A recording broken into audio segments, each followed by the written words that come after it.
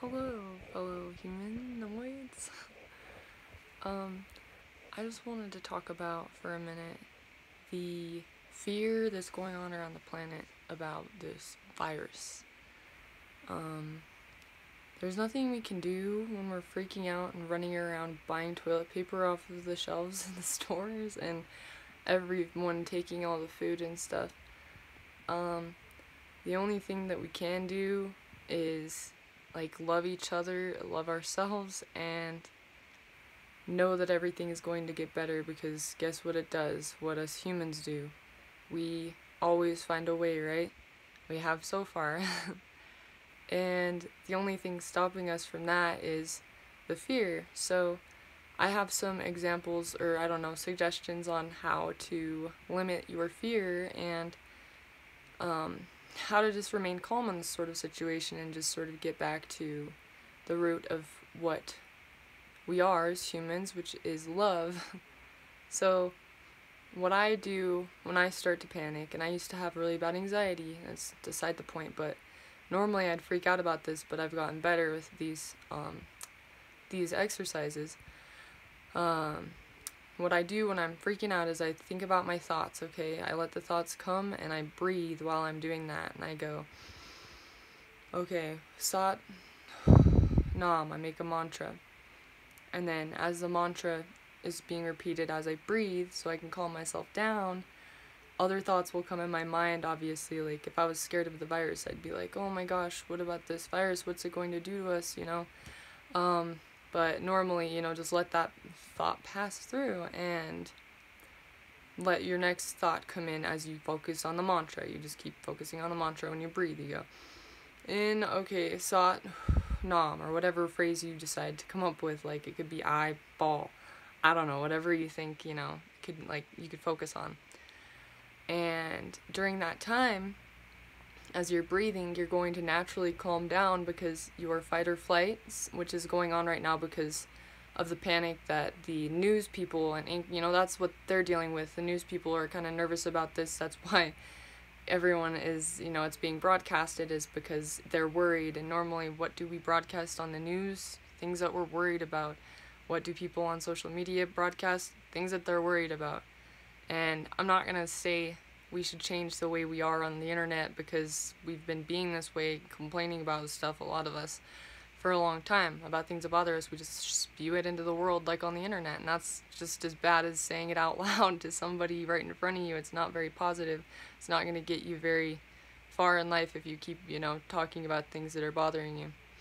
Um, but if you talk about things that you can do, which is breathe and focus on love and loving yourself, you won't need and feel the need to go on the internet to find validation of what's going on on our planet. Instead, we'll just create it. We'll just create the love we want, which is why we're all bottled up in our houses right now. Because we're scared to communicate with each other because we haven't been, because we've been so into our technology lately. And that being said, that is why everyone's so scared about, you know, the corona whatever virus. I don't even like to say it because it's just a virus and so are we as humans. And people didn't realize that until this happened. And now that it has happened everyone's just sort of doesn't know what to do with themselves because they're like oh shoot this is our fault you know? And they have to realize that we're gonna have to be the ones to fix it. And if we don't fix it and the only way to fix it is to start focusing on our love and the reasons why we want to live here on this planet. Um, if we focus on that then we'll actually thrive finally instead of just merely survive, you know what I mean? Getting by on a little bit of money everywhere we go, not having to be, have time to enjoy the good things in life like family, music, like outdoors, nature, you know what I mean? It's like we got to get back to our roots and I feel like this is going to help like this scare. That's what I'm calling it. I'm saying that Mother Earth is warning us lovingly. It was a loving warning that this coronavirus has been and we're lucky that a lot of us are still here and okay, but in order to keep ourselves safe from getting this virus, we need to remain happy and positive no matter what the circumstances. I mean, thinking it could be worse, like what if the whole world exploded just out of nowhere because some like other planet collided into us, you know? We don't know everything, guys. Um, and all I'm saying is that if we want to continue living, we need to start focusing on love and positivity and things that we can do to nurture ourselves so that way we will have more respect for planet Earth and planet Earth will take care of us because uh, the way it's been so far, it hasn't been taking care of us because we've been not taking care of it or, you know, ourselves because it's natural to want to go outside and be around the animals and stuff, but the technology we have and the work we do and like everything, it distracts us from what really matters. And it's really just, you know, it's become very just intolerable for planet Earth, and that's why this virus popped up. It's because we are so blind to it. Well, we're blind to it. Now it's finally come to the light that we are the power that we seek. It isn't money. It isn't instant fulfillment. You know, it's not have being on our phones all the time. It's out there. It's the out world out there that is going to be here for us when we don't know what to do with ourselves because look, the sun's still coming up. You know, the weather's still the same. It's like the only thing that's changed is our perspective on what we need to do in order to keep it the way that it is. And in order to keep it the way that, you know, or at least make it better because it's not good right now and that's why this is happening. So what we can do to keep like uh, to make things better i would say is start by loving ourselves and loving the ones around us. Because once we start doing that we can work together to come up with a better way of living and of fixing the problem here on earth which is that we aren't even we know the problem, you know, but that's the part that's hard for some of us to understand is that it's as simple as throwing away your trash, like, you know, taking care of yourself with like Mother Earth, you know, doing your part, going outside, spending time there, like connecting with what we are. Honestly, we've been inhabiting this planet and it was here before we were. Plants were here before we were and here we are thinking we're so high and mighty like you know we can kill animals to eat them because it tastes good. Like cows aren't here for us to eat. Cows are here to live cow life okay? And the way we've been producing them so much to be able to be sold in stores and for us you know that's for the companies. They want the money. They don't care if you like the way cow tastes. They just want the money from you eating it. And so get that kind of thing through your head. Chickens too, anything, like really, like any animal that is not we only had to eat them when we were surviving back in the ages when we needed to, you know, and that was for primal needs. Nowadays, they hire people to go work at pig farms and slaughterhouses, and I've seen them. They're not fun. They're not cool. They're not cute. It's not happy. Like, it's honestly just like if we were to put a bunch of people in a room and just lock them all in there and then slaughter them up. It's so just terrible seeing that have to be happen to animals. Like, we just can't, a lot of us can't think about that because we think of the bigger picture. Like, you know, only people think about money. They want, what can I do with the most money? And it's like, nothing you can't do nothing with a lot of money if we're all dead so everyone needs to like wake up and realize that loving ourselves and respecting the other animals just as much as you would love yourself that is the way to cure this virus which is us the only way to cure us is to start looking at our own flaws and the things that make us you know want to go out and get money what are we missing in our lives that is making us feel that we need money in order to survive. And to me, that is connection. Like, what do you do when you're sad and you feel like alone? You think, well, hmm, well, if I had some money, I could go here and do this. Well, no, really, the money that you have is this thing.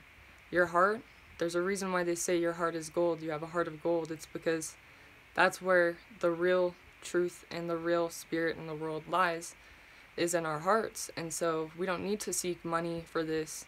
We don't need anything besides what we have right here. As long as we have a beating heart, air to breathe, eyes to see, a mouth to taste, ears to hear, we're okay.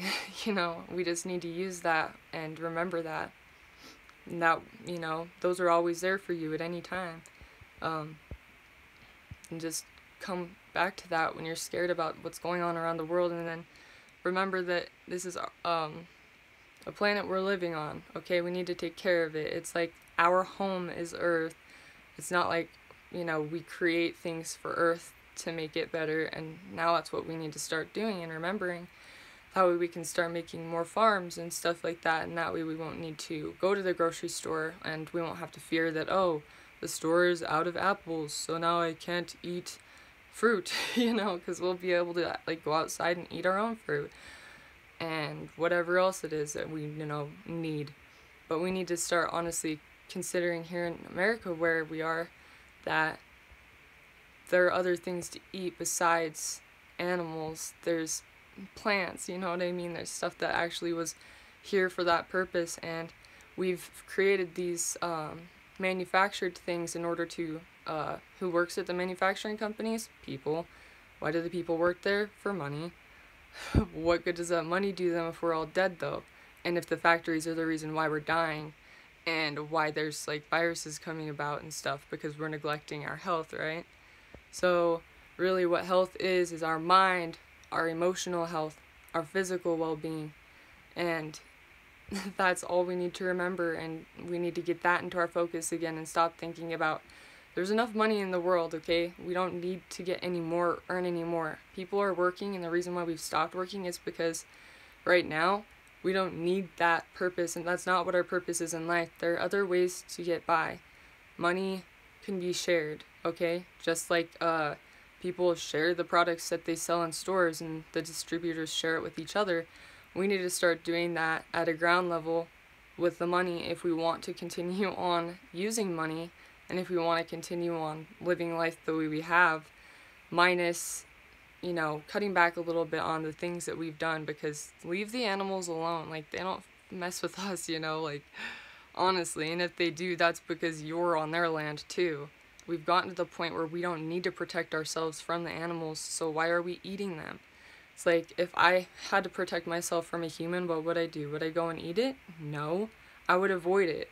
You know what I'm saying? It's like there's a reason why this is all happening, and it's because we need to remember that we're the ones, humans, us humans, we need to get our shit together, together. and in order to do that, we need to forget about why, you know, what we're eating and forget about wanting to eat things that we don't need to. There's oats and things like that that we have. You know what I'm saying? There's all this other stuff that we have, and there's so much of it, and we have enough here that we could share it with other countries, and we don't because we're so caught up in that greed game of making money, making money, making money. And we need to let go of that because our money is right here in our heart. And if we don't have our heart, we have no money, we have no motivation. So start living, thinking your thoughts, remembering that you are the love. You can create oh, the love oh. in your heart. And yeah, that's, I'm out with this one, but remember, it's up to you of how you decide to use this panic. Uh, it's not a panic, it's honestly what you make it. And I haven't been talking about this, but since I've been talking about it, I've gotten even more anxiety about it, but I'm gonna calm myself down when I'm done talking about it because I'm gonna start breathing and doing things I enjoy, like writing in my journal, things that I just enjoy, you know, and that's what we should all be doing instead of focusing on working and stressing about not having money because honestly, things will work out as they should, as if, you know, our society is built on what we believe it to be, which we trust, and we do trust. That's the thing. We need to all trust each other and you know, just relax for a little bit and slow down because we've been going at a rate like this for so long that I'm surprised we haven't just turned the planet so fast that it's, you know, exploded or something. Uh, knock on wood. But anyway, I hope you all have a lovely day and try to remain positive during this time. Of course, it's not a matter of trying once you practice these things because it will just be in your brain. Anyway, uh, namaste. I love you. Thank you. Let's keep this planet alive.